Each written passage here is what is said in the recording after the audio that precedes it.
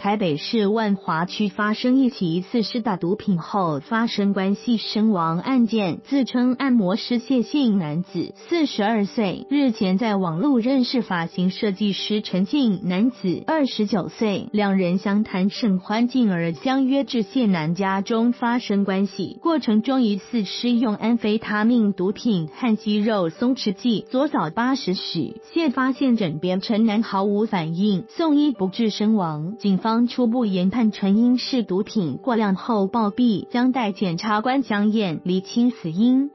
警方调查有毒品前科的谢男在中山区租屋，疑似和网络上认识的陈男互有好感，前天首度相约在首谢南另一处万华内江街的租屋处发生关系。他们为了助兴，事先施打自备的安非他命，再施用肌肉松弛剂。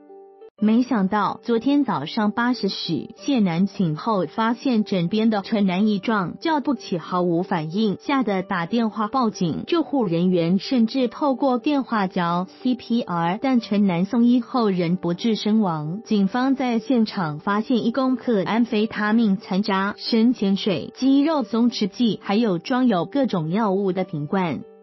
谢南向警方表示，两人第一次相约在堆放杂物的内江街租屋处发生关系，毒品是朋友给的，坦诚是用毒品，不断说不知道怎么会这样。陈南家属获报后发现儿子死因尚不明，怒说我要告死他。警方依毒品危害防治条例将谢南送办，也将进一步追查毒品来源，发生关系用药品注。新男子以用药量太大暴毙图 image 分享。